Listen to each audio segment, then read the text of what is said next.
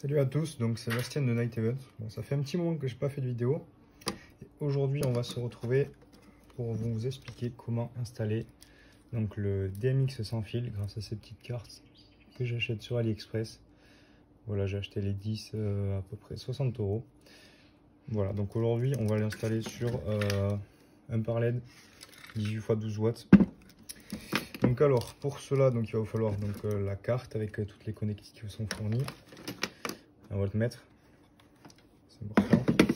Euh, l'alimentation de votre euh, du projecteur que vous allez câbler, ça peut être peu importe, ça peut être une lyre, euh, n'importe quoi, et des tournevis ou une visseuse, un fer à souder, de l'étain, enfin tout pour connecter du câble. Donc on va commencer donc par l'ouvrir. On il y a quatre vis enlever.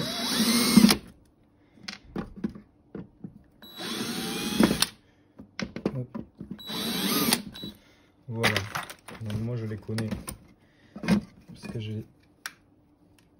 déjà ouvert pour en mettre d'autres. Donc là vous allez avoir euh, donc euh, ce faisceau de câble qui est relié donc euh, au LED du projecteur qui va nous embêter. Donc pour travailler plus simplement, on va le, juste le débrancher, vous voyez. Hop, là c'est enroulé pour pas qu'il se prenne dans les poils du ventilateur. Hop, et là on a notre base de travail. Voilà, donc vous voyez le projecteur en lui-même, on peut le mettre de côté. Ne nous intéresse pas. Donc voilà. Donc ce qu'il faut savoir sur ces cartes, donc on branche à l'arrière les quatre câbles, enfin le connecteur qui est fourni, il y a quatre câbles qui en sortent. Donc on a le rouge qui est le plus, et ensuite on a le blanc qui est le 2 sur le DMX, donc le data moins, le, euh, le, jaune qui est le 3 sur une fiche DMX qui est le data plus et le noir qui est censé être le grand mais qui fait aussi moins. Soit vous le mettez sur, euh, votre 3 de votre euh, DMX, soit vous le mettez tout simplement sur un moins. Et ces cartes marchent en 5 volts. C'est marqué juste là, je ne sais pas si vous allez le voir, voilà, on le voit à peu près. Donc ben, la première étape, avec votre testeur, mais on va essayer de trouver du 5 volts. Donc euh, c'est du courant continu qu'on cherche. Donc on se met sur courant continu. Voilà. Donc moi je les connais, donc je sais où il est le 5 volts. On branche bien sûr euh, donc euh, notre projecteur. Sinon on va pas en trouver beaucoup. Hop, donc voilà, il va se mettre en route. Vous voyez le ventilateur se met à tourner. Et donc si vous êtes dans le même cas de figure que moi, le 5 volts se trouve juste ici sur les petites Hop. Voilà, donc mon testeur n'est pas du tout précis, donc vous voyez on a 4 volts. Les 4 volts ça ira très bien. Voilà, donc quand on a trouvé notre 5 volts, on commence donc euh, par se souder les deux petits. Donc faites attention à bien repérer le plus et le moins, sinon ça ne marchera pas. Pour faire ça, vous pouvez éteindre votre projecteur et le débrancher tout simplement. Donc moi j'ai un petit peu d'éther mais je pense que je vais en remettre, on fera plus facile.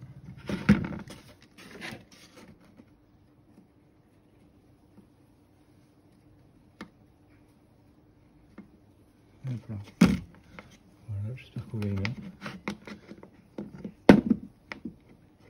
N'hésitez pas à en mettre, mais ne faites pas déborder sur les cases d'à côté.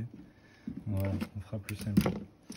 Donc, le rouge sur la première qui sera le plus 5 volts.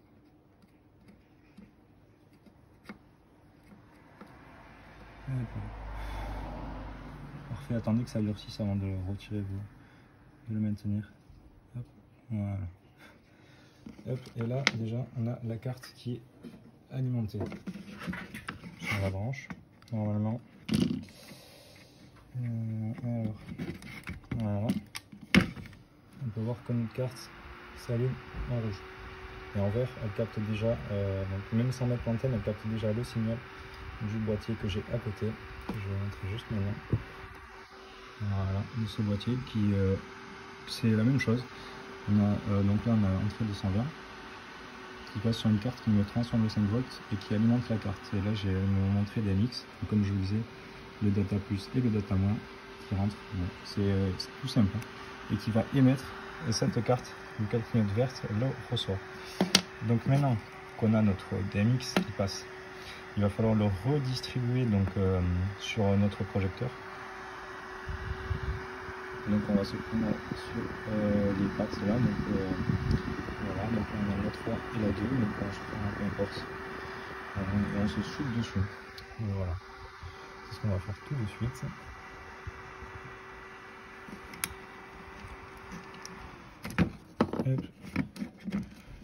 Donc le jaune sur le 3 et le blanc sur le 2. On peut toujours rajouter de l'étain. Ça va faciliter la soudure. Moi c'est ce que je fais. Alors, on va commencer par le 2 qui est à l'intérieur. Ça sera plus simple. Voilà.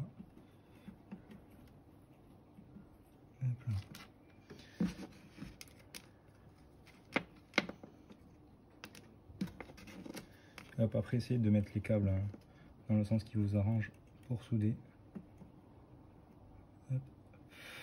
Voilà. On m'en fait avec gros, mais on fait avec. Hein. Voilà.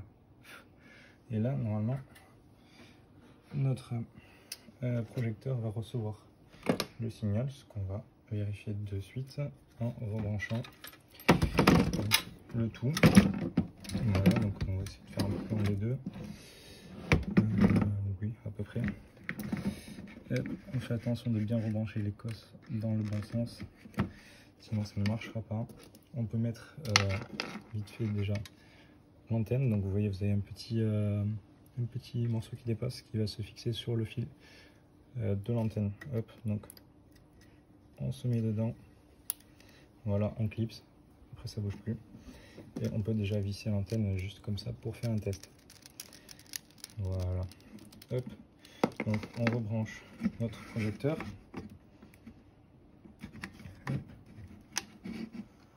Voilà. Hop. Donc, on voit que notre antenne capte bien, reçoit bien le signal. Et là, je vais tout simplement aller sur euh, l'ordinateur où j'ai euh, l'interface. Donc, moi, je tombe sur Gaslight et mettre une couleur, voir si ça fonctionne.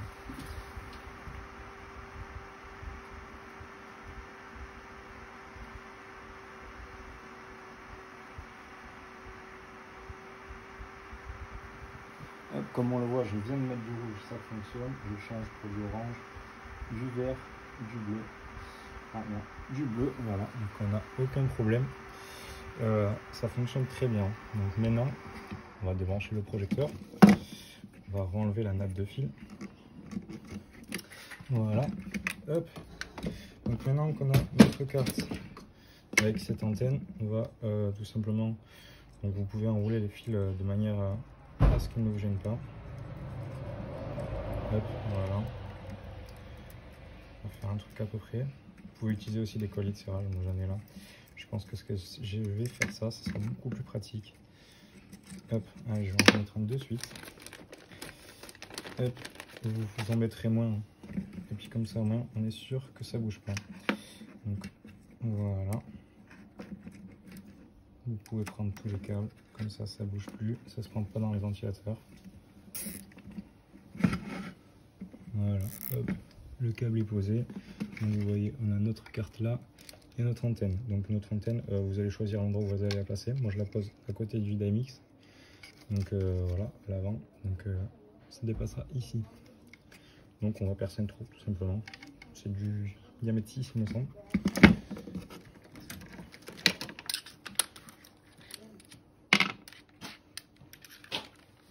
Salut. Voilà, donc on va percer notre trou donc à l'endroit désiré. Hop. Moi je me mets là dans le trou pour pas percer la planche en dessous. Je sais pas si vous allez bien voir. Donc voilà, mèche métal, hein, toujours. Je vais mettre dans le sens. Comme ça, le, trou sera plus net en gros du côté où vous percez. hop là. on va se mettre ici. Donc,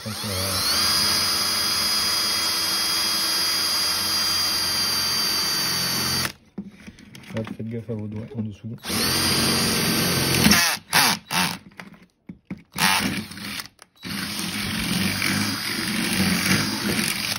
Hop là. Et on a maintenant notre trou notre antenne. On va voir si ça passe. Si ça passe pas, il suffit d'élargir un petit peu. Voilà ce qu'on va faire nous. Maintenant.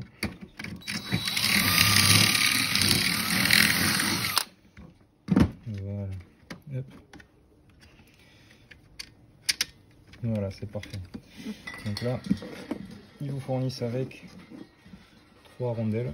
Donc, une petite avec des dents qui dépassent. Euh, une qui n'est euh, voilà où elle est coupée et tout simplement un boulon donc celle avec des dents vous allez la mettre derrière contre la paroi Hop, de cette manière Hop, attendez je vais arriver voilà. De telle manière que les dents quand vous allez serrer vont se planter donc dans la matière là ça c'est du métal et euh, va éviter bah, que ça tourne ou simplement que ça bouge. Voilà, donc ensuite. Donc j'ai oublié une petite étape, vous voyez, les petits, quand vous avez percé, il y a des petits trucs qui vont dépasser là. Donc tout simplement, vous prenez euh, une lime ou quelque chose pour euh, faire que ça soit plat. Voilà, donc on va remettre notre écrou à dents, enfin notre rondelle à dents, comme je vous avais dit. Hop, on va insérer donc le bout de l'antenne dans le trou tout simplement. Voilà, donc vous essayez de le mettre à peu près droit. On met donc cette rondelle qui est fissurée et il y a un bout qui est plus haut que l'autre. Ça va permettre tout simplement quand vous allez serrer d'avoir un serrage optimal. Hop là, et le boulon. Il ne reste plus qu'à serrer. Voilà. Hop. Je n'ai pas ma pince sous la main donc on va serrer bah, la main. Voilà, hop. Et voilà, il ne vous reste plus qu'à insérer euh, l'antenne où je voilà ici. Hop. Voilà, et votre projecteur est prêt. Maintenant, vous allez capter le DMX et on va faire un petit test aussi. On va voir si euh, donc chaque carte, il faut savoir que ces cartes donc euh, sont à la fois émettrices et réceptrices. Donc voilà, vous voyez, on capte bien, donc elle clignote vert. Mais euh, si euh, elle reçoit une arrivée des mix, elle va simplement euh, ben, se mettre en émetteur. Donc ce qu'on va voir direct. Donc on va prendre, donc là j'ai débranché donc mon émetteur. Donc vous voyez, maintenant on est en rouge, donc elle ne reçoit plus de signal. Voilà, donc on prend donc ce câble DMX qui vient directement de mon interface, on la branche sur le DMX. Voilà. Et vous voyez qu'elle clignote.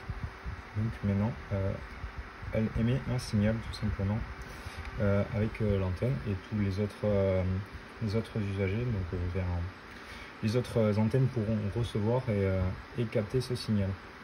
Voilà donc il vous reste plus qu'à remonter le projecteur comme dit avant on va le débrancher faire simple voilà on appuie un peu dur voilà. Donc euh, vous enroulez comme c'était auparavant. Voilà. L'enroulement c'est juste euh, pour éviter que euh, les câbles se prennent dans les ventilateurs je suppose. Hein. Hop. Voilà, on fait toujours attention à bien les rebrancher à l'endroit. Normalement il y a un sens sur les trucs, mais on sait jamais. Il faut pas forcer, ça passe tout seul. Voilà.